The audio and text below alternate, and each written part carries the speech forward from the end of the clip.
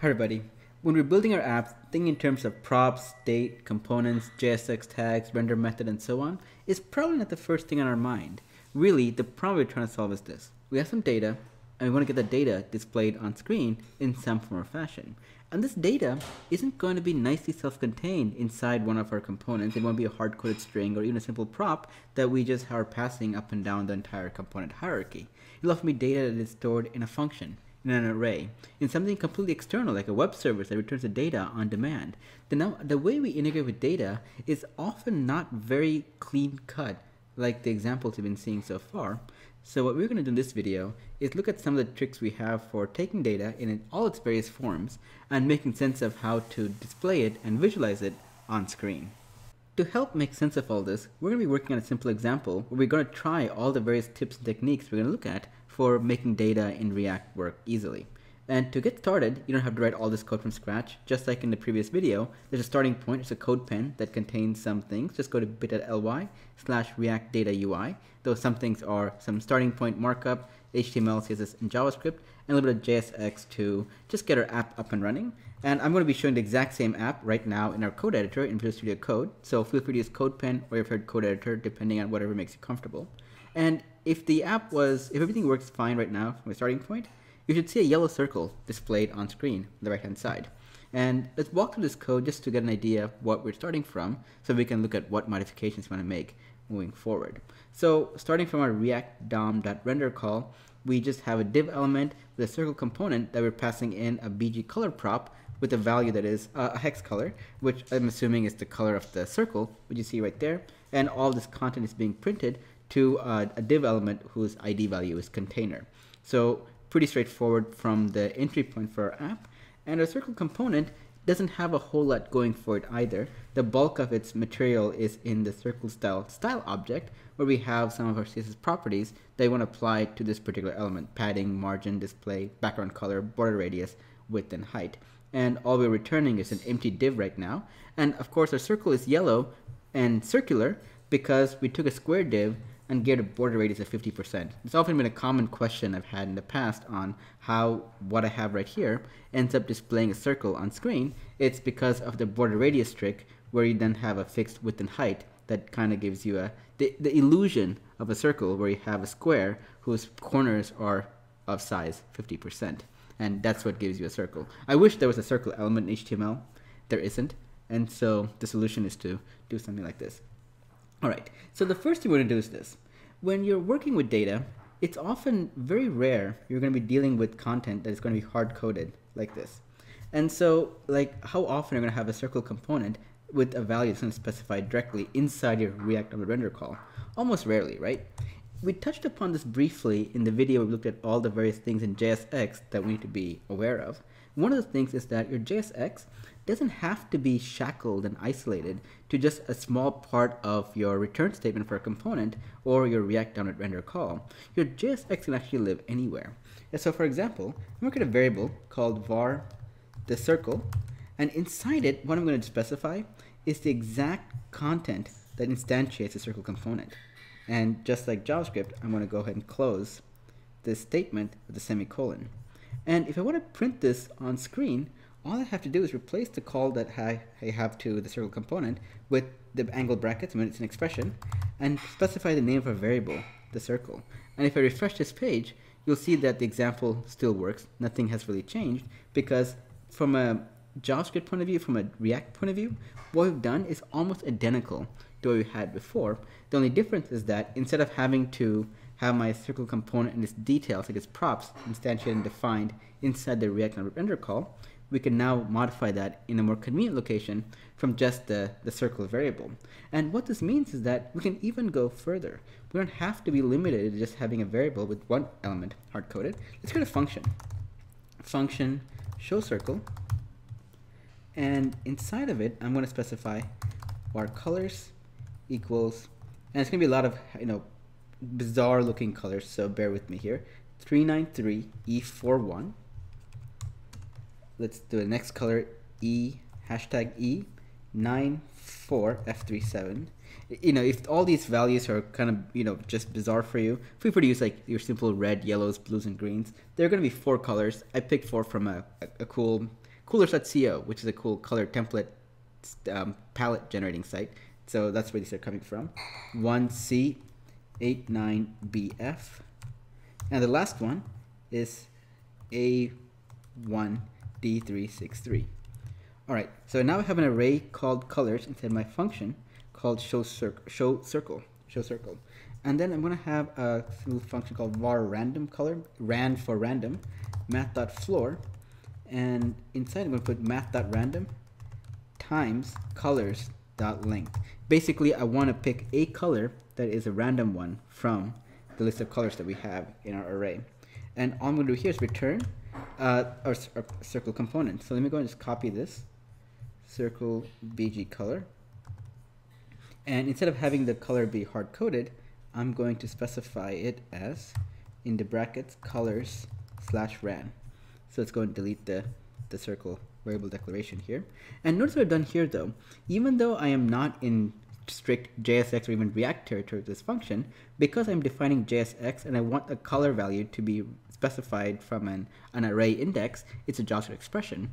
I'm wrapping them in the curly brackets, just like we've seen before, if we were to do this, for example, inside the React render call or in the return statement for a particular component.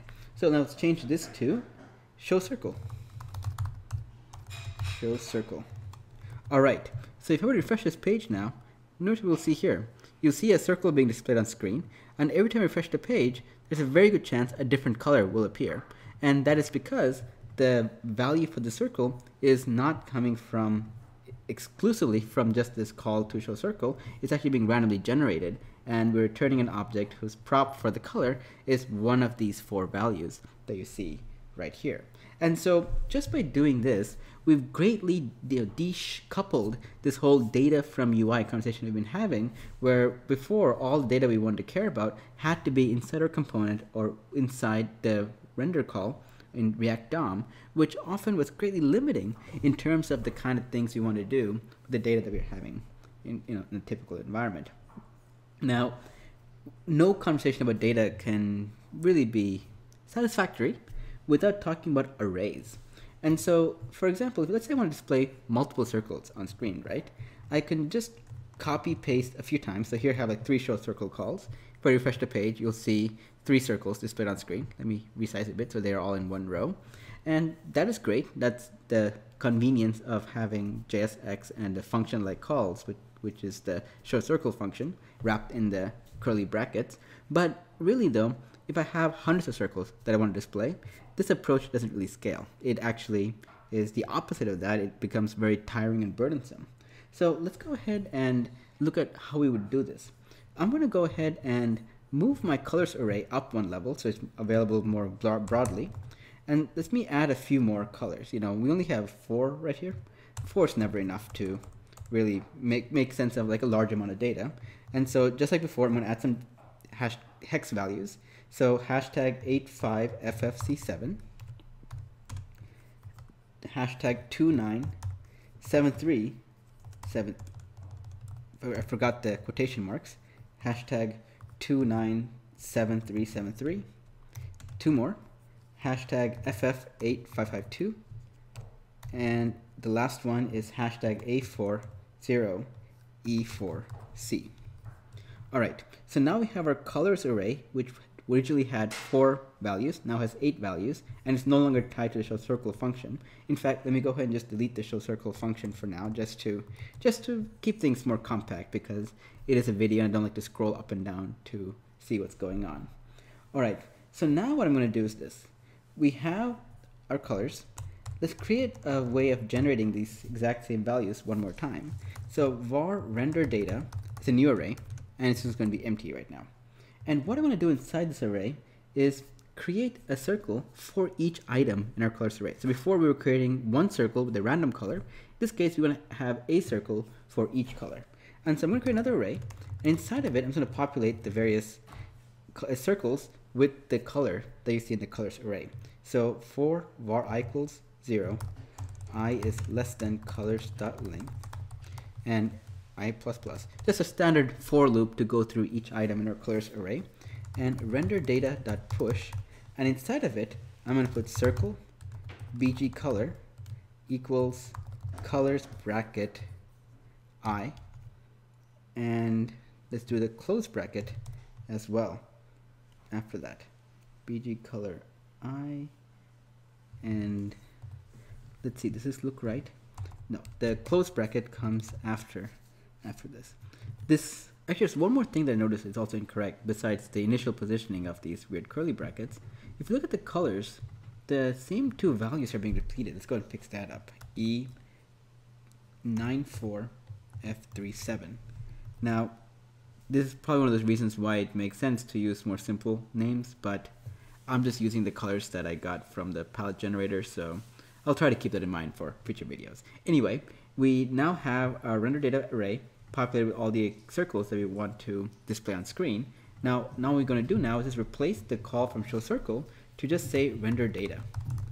Now, even though we have an array of content, there's nothing special you need to do to have this data make sense to React. Just wrap your array inside the curly brackets to make it a JavaScript expression, and everything will just work. At least it's, let's hope so. Let's refresh this page to see how everything looks. And as you can see now, we now have eight circles, each matching the item in the colors array that we had initially. Now, are we done here? And you might look like we are, but there is one thing to keep in mind though. Let's go ahead and look at the React Dev Tools to see what's going on.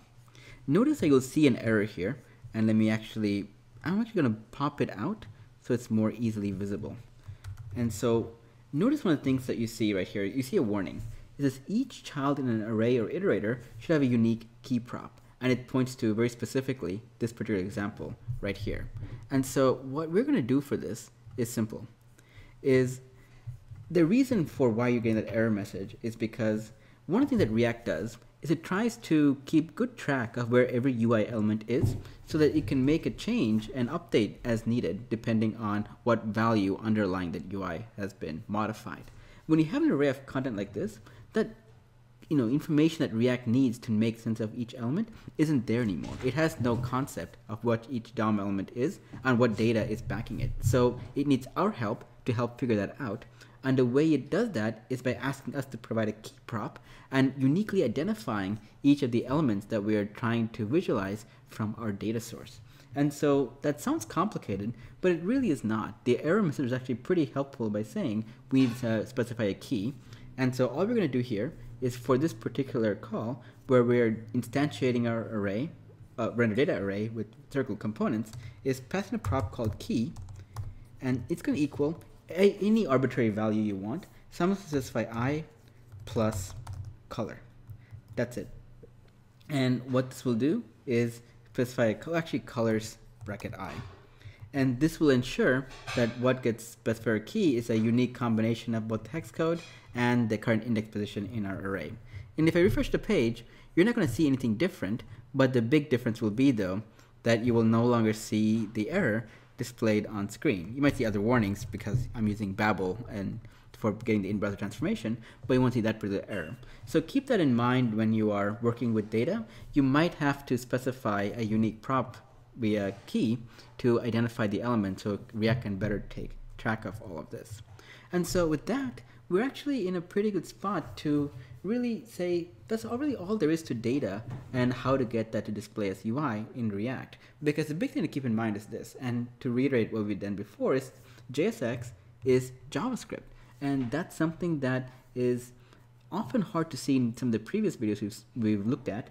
But in this one, it's very clear by having our JSX content inside a variable, inside a function, inside an array, just having it be all over the place beyond just the, the regions we'd consider safe for React, we kind of see the, the power that JSX has by being part of JavaScript, which allows you to use all of the various JavaScript tips and tricks you might have learned to manipulate your content and still get valid JSX that your React app can make sense of.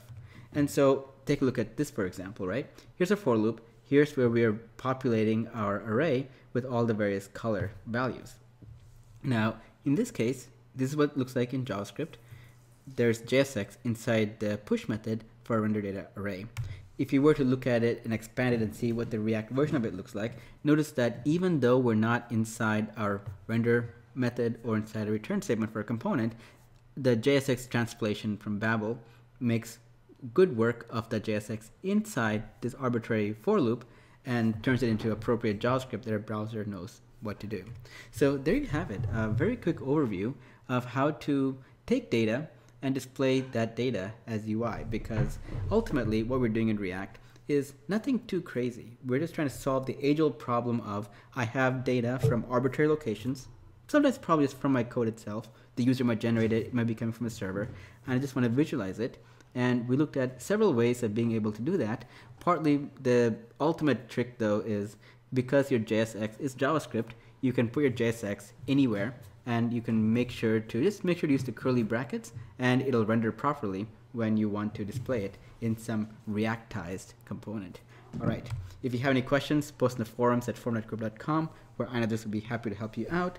If you like this video, tell your friends and enemies and anyone in between that about this video so that they can learn about React and data and all the cool stuff that goes on. Hit subscribe to be notified of new videos that come out in the series. Follow me at Kirupa on Twitter to be notified of just interesting things that I'm sharing that often includes retweets of other cooler stuff that other people are sharing as well. So might be some interesting web development stuff, animal videos, just whatever seems exciting and interesting at that moment. And there's also a book, Learning React, where all the stuff that I'm talking about is available in text form that you can hold and you know, flip the pages through, smell the pages even. It smells like paper, which is you know, a rare commodity these days. And so if you're into holding a book instead of a video or looking at online tutorials, check out the book. And with that, I will see you all next time.